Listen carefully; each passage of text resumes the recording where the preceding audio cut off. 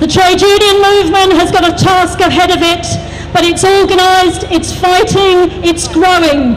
One of those groups that are in the forefront of that fight to protect our public services is the Fire Brigades Union.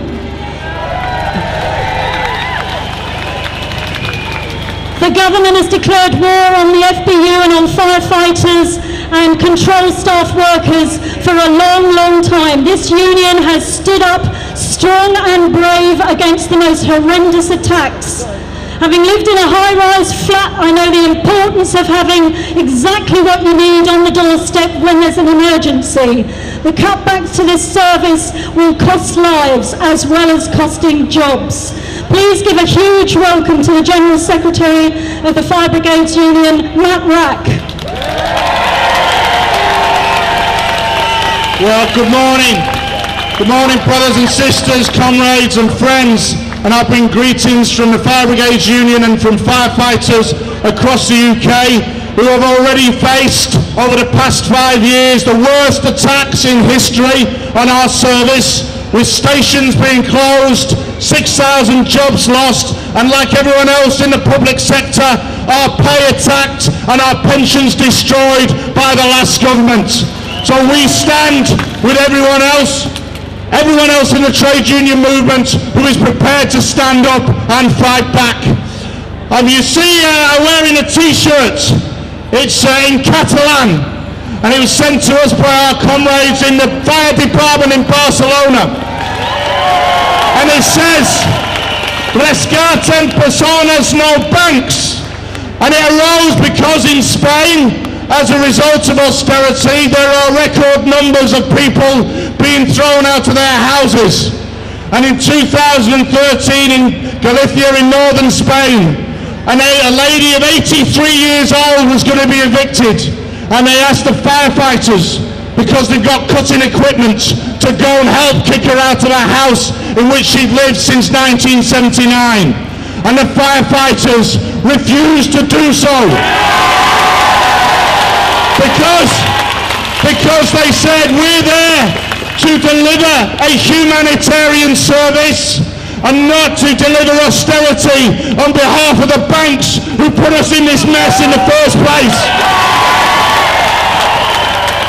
We now face a Tory government that is going to unleash another onslaught against every one of us, against welfare. And those of us who are in work need to ask why they're doing that.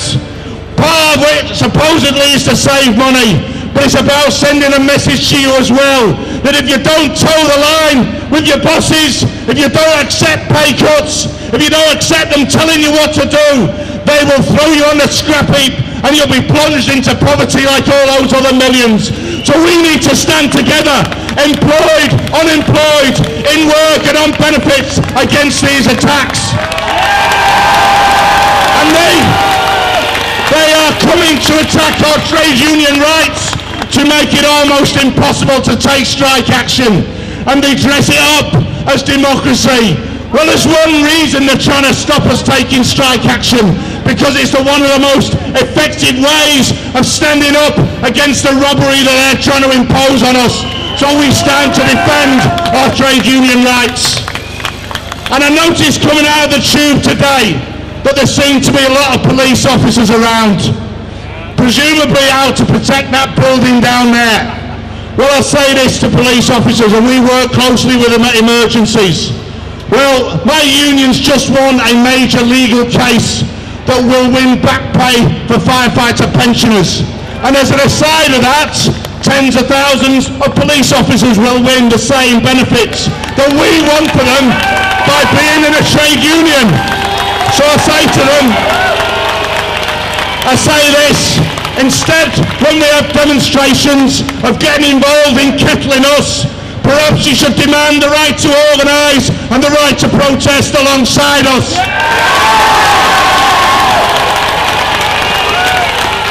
We've been through a horrendous five years and I don't want to see a repeat of it.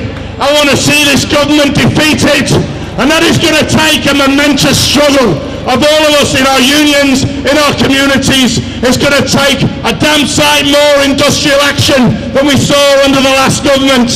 It's going to take direct action. It's going to take occupations, and it's going to take all of us working together. It's also going to need a political debate around the alternative. And I have to say for the trade union movement, it should be a no-brainer, by the way, that the trade unions back Jeremy Corbyn in the Labour leadership election. And to me, it's quite staggering that there even is a debate on it. We don't want to see people going into the next election asking for our votes in order to impose more cuts and more austerity and keeping those trade union laws in place. We need a real alternative and that's your task and our task and they will say it can't be done. Well throughout history they've told us that there's no alternative. And if you'd listened to them in the past, if our people had listened, we never would have, by the way, ended slavery. We never would have got the vote. Women would never have won the vote if we'd listened to those people who said there is no alternative. There is only...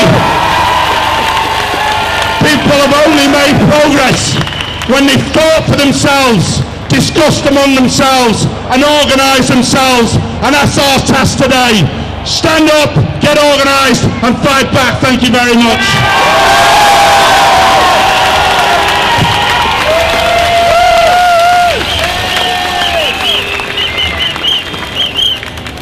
Before I start, can I just get a massive round of applause for all of our interpreters that are working